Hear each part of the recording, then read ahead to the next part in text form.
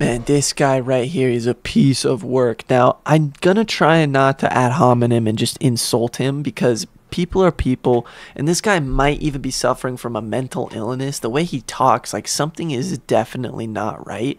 And I'm just astounded by how many of these moronic interactions are happening at McDonald's lobbies. Like, can't we do this in like a Whole Foods or something? It's it's an example of you are what you eat. And these people are eating at McDonald's so much it's turning their brains into mush. Oh man, alright, let's Let's watch this bullshit again.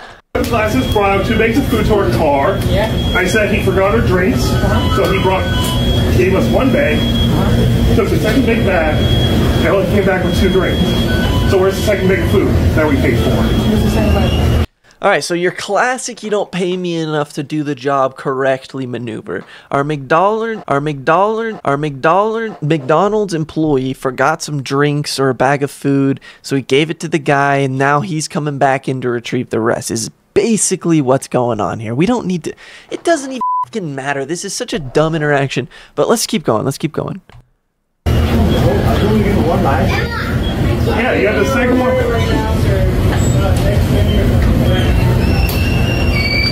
Um, actually, I'm not even sure. 'cause We only got our. I think it's two McChickens at least. Okay, don't on me. But two McChickens? Are you kidding me? I yes. Isaac, he just spit on me. I'm not. You cannot spit on people. I'm pretty sure you can file assault for. I'm gonna double check on that because th- that kind of thing.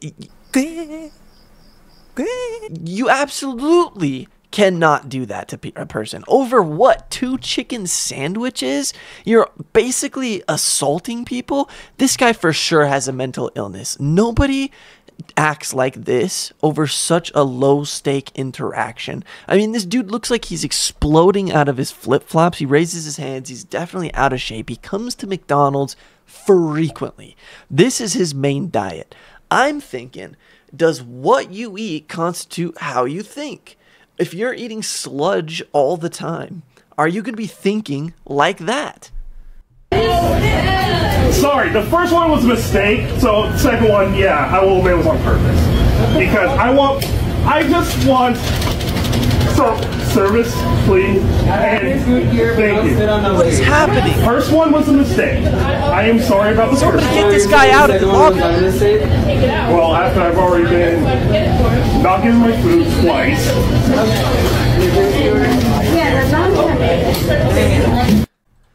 I'm honestly flabbergasted. Every time I've watched this video over, I get my heart rates, my palms start sweating. I get a bit of a reaction going because were there no men in this lobby who could have like done something about this? Was no one informed enough to tell this woman that someone should have called the police, probably press charges on that dude for this? I mean, the person filming didn't even flinch.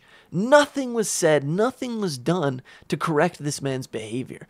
I, it- is this just the attitude of McDonald's? Everybody loves McDonald's. I'm not saying that's everybody who goes to McDonald's, but we didn't have one decent human being in the lot that could have done something, even like said something to make her feel somewhat better. All the boss did at the end was give him the food and send him on his way. I feel like there could have been a bit more room for some justice of some kind. I mean, what a ridiculous guy over chicken sandwiches and maybe he got called out. He felt bad because he got called out, and that's why he did it a second time. And who talks like that? He goes, What did he say? He just spit on me. I'm not doing this. He. Sorry, the first one was a mistake. So second one, yeah, I will admit was on purpose. First one was a mistake. I am sorry about the first So one. you're saying the second one was not a mistake? take it. Well, after I've already been given my food twice. And then, I mean, the guy's just gone, like the darkness at dawn. I feel like we could have definitely done better. Someone could have maybe stopped him and charges could have been pressed. There could have been some kind of justice. I just feel like I'm unresolved. Like this story is unresolved. This woman just got spit on, which is disgusting. I personally am grossed out by saliva and anything like that. So I would definitely have pressed charges. Bro, I might have jumped over the thing and tackled him to the ground. I would have probably ended up with a tooth in my skull because I would have probably gotten a bit too physical, but that kind of thing is disgusting. Like, how dare you spit on me, sir? I would have taken that outside so quick.